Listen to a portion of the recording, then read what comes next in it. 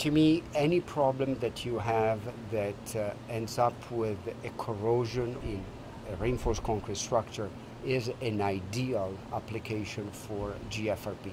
For example, if you look at a building in a subtropical area such as Miami or Tampa where we are right now, the salt that comes in the air would cause the corrosion of the reinforcement in the balconies. Why do we keep on using steel in those type of applications?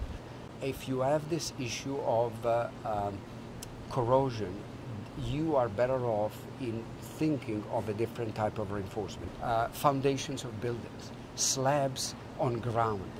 You, you don't think of them because you don't see them. They are covered, right? But in those applications, for example, if you have a type of soil that is aggressive, you would avoid problems of corrosion because you use the right material.